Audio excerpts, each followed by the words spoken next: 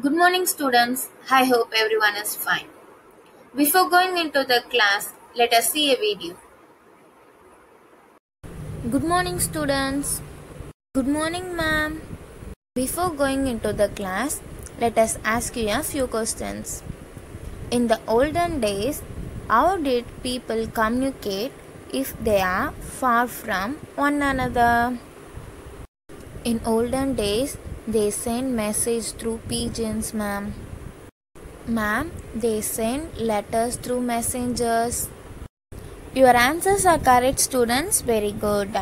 Uh, in olden days, they sent letters through pigeons, messengers. Later, letters were delivered by postmasters.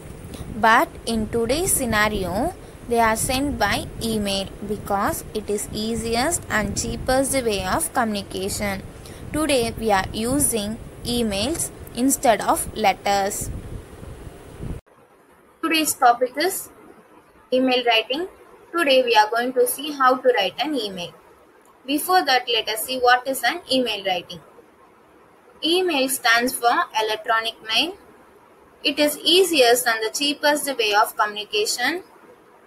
It is used in formal, semi-formal and informal way of expression or writing.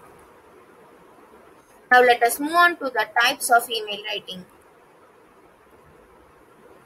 There are three types of email writing. They are formal email writing, semi-formal email writing and informal email writing. Once again, formal email writing, semi-formal email writing and informal email writing.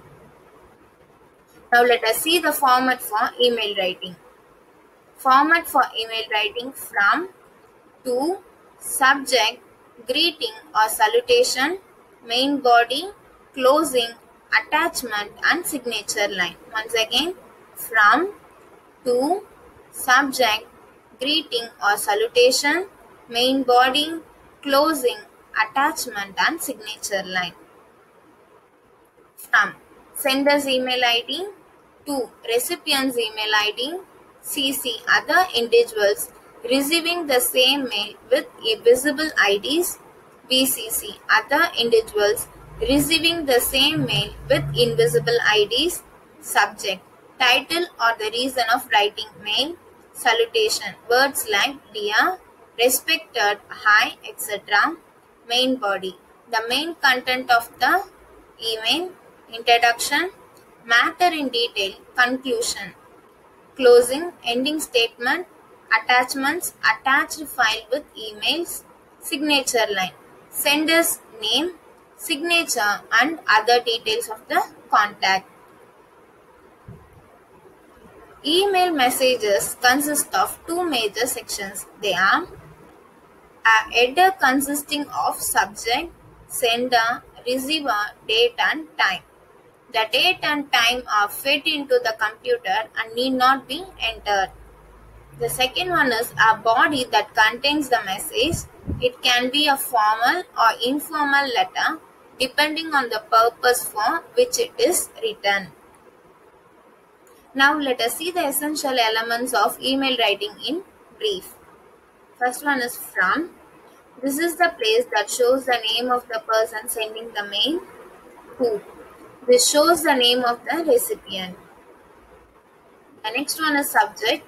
It should be brief. It should give a clue to the content of the message. It need not be a complete sentence. Next one is salutation. Dear sir or madam or first name of the person as a opening statement. Begin with a pleasantry or greeting. When replying to a message, write Thank you for your message or I received your message.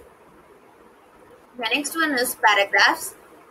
Each main idea should be in a separate paragraph, making it easy for the reader to understand the message.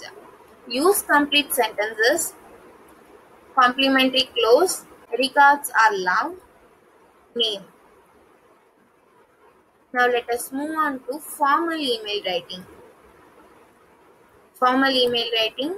For official purposes, we have to use formal email writing. We have to use polite and formal words The reason for writing mail, clarity, proper greeting and closing are some of the rules of formal emails. Let us see an example.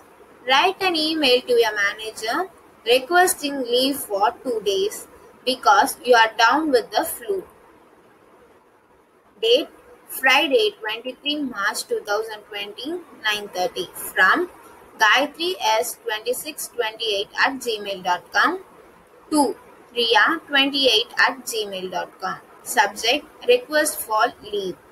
Dear Ria, I am writing this letter to inform you that I will not be able to come for work for the next two days, that is 24th and 25th March. I have caught the flu and doctor has advised me to take complete bed rest for the next two days. I have completed most of my assigned work. If there is any work that is important and urgent, please contact me on my home number. Thank you for your consideration. You are sincerely Gayatri S. This is one of the sample for formal email writing. Now let us see semi-formal email writing. An email written for teammates or colleagues, we have to use semi-formal email writing. We can use friendly language but have to maintain the limit and decency. Proper greeting and closing and the clarity are some of the rules of semi-formal emails. Now let us see an example for semi-formal email writing. Write an email to inform your classmates regarding intra-college quiz competition. To archana26 at gmail.com. Subject Intra-college quiz competition. Hello everyone. This is to inform you guys that an intra-college quiz competition is going to be held in our college on November 25 from 11:30 a.m. in all 1. Everyone is therefore asked to be take part in the competition so that our department can win. For further queries, feel free to contact me. Thanks, Dani, class representative. This is one of the examples for semi-formal email writing. The next one is informal email writing. Informal email writing. An email written for any friends, family members or relatives, we have to use informal email writing. Use of polite, friendly and casual words along with proper greeting and closings are some of the rules of informal email writing. Let us see an example. Write an email to your friend inviting him or her to your birthday party. 2. Priya28 at gmail.com. Subject Invitation to your birthday party. Hi Priya. Hope this mail finds you in the best of your time. I am very happy to invite you to my birthday party on November. I am very happy to invite you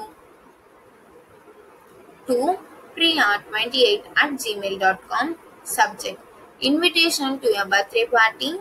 Hi Priya. Hope this mail finds you in the best of your time.